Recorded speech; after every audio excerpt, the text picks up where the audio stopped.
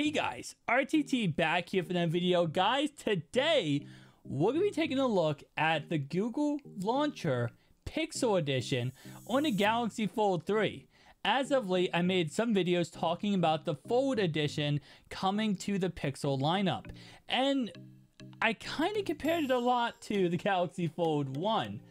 But what if you have the Galaxy Fold 3 running the same exact look?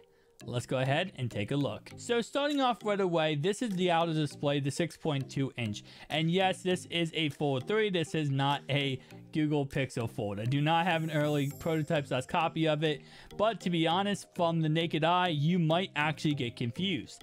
Taking a look at this, this actually looks a lot like what we see at the images and the renders of the brand new Pixel Fold.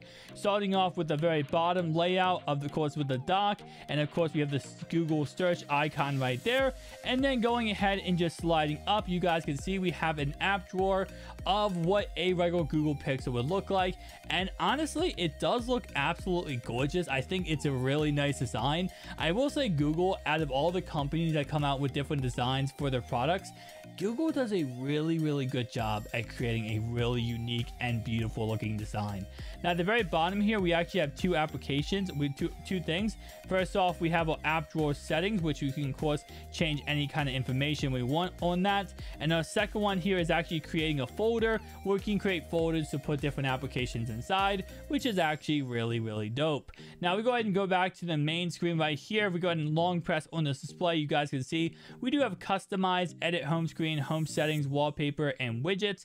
Again, we can add any widgets we want to this home screen and you can even make it more realistic to what a Google Pixel Fold would look like if you want to go ahead and compare it exactly identically to every little detail that they do go ahead and show off in the renders. Now, if we go ahead and open up this brand new Galaxy Fold Galaxy Fold Pixel, I don't even know what name I would even call it. I, I kind of wanted to create a unique name there, but you guys can see it does have that what we've seen out of the renders that Pixel S design.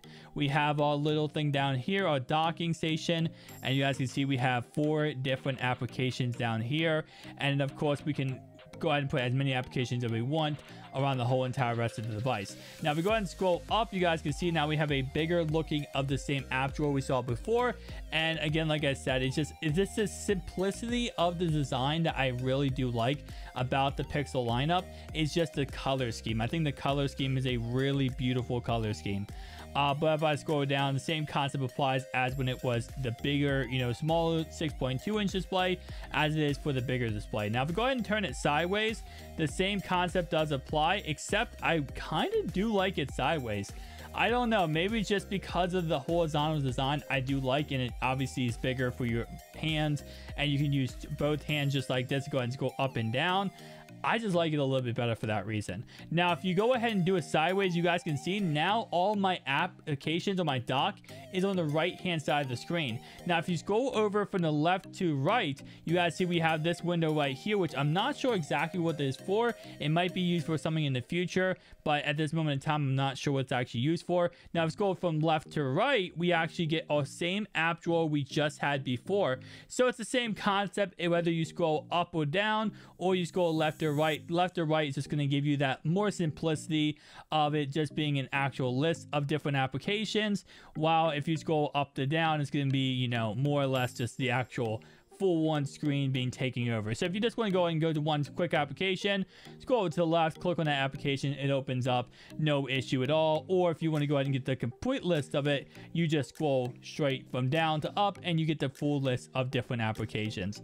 Now I will say, like I said before, at the end of the day, is this what the Google Pixel Fold would look like? Most likely, yes. It's going to look almost identical to what you see on the screen right now. The only difference is we know on the outside display, it's going to go ahead and give us a beautiful 6.2 inch display, but it's going to be a lot of bezels that's going to take away from that beautiful design and that beautiful look to it. So I will say that is going to be an L for that reason because we're going to see the same kind of look that we saw out of the uh, what's called Fold 1, which it's not a bad design. It just doesn't give us as much of a beautiful look as I would love it for it to give us.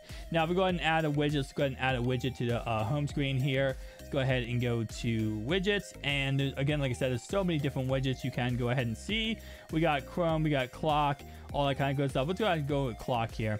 So I got to touch and hold a widget, go ahead and hold on to the home screen, and then I can go ahead and uh, create.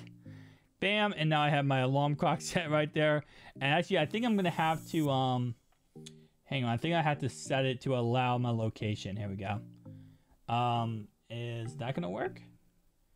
Okay, it looks like it's a little glitchy. It's not really not 100% cooperating with me, but let's go ahead and see. Let's do Netflix actually. Let's just put Netflix on the application just like that. Bam.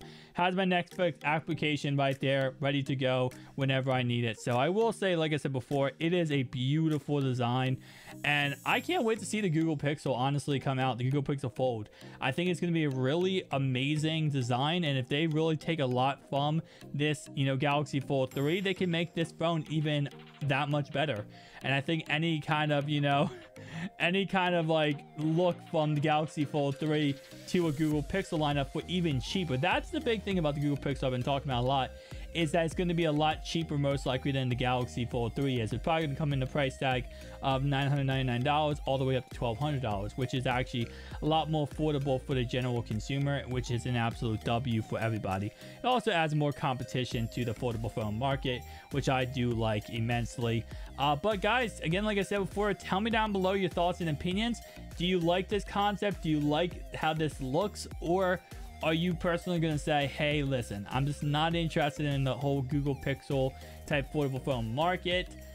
It's just not for me. I'd love to hear your opinions down below, guys. And if you did enjoy this video, make sure to like and subscribe button down below. About to trying to hit 2,000 or 1,000 subscribers by Christmas.